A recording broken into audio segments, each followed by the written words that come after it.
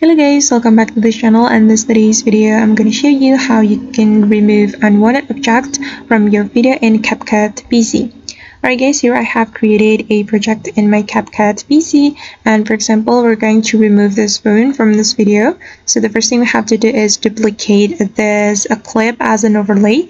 Right click on the clip like this and then you can click on copy and then right click again then click on paste Alright, and we're going to um, put mask for this video. So you can go to mask right here, and then you can select the uh, shape of the mask, and I'm gonna go with circle.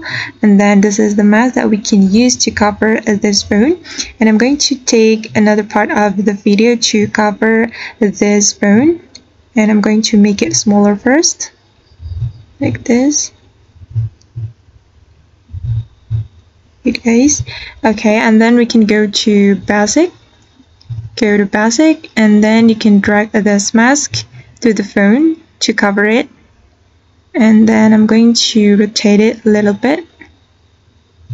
Okay you can make it as natural as it could be and okay and now the unwanted object has been covered and that's how we can remove unwanted object uh, from our video in CapCut. I hope this tutorial will be helpful for you.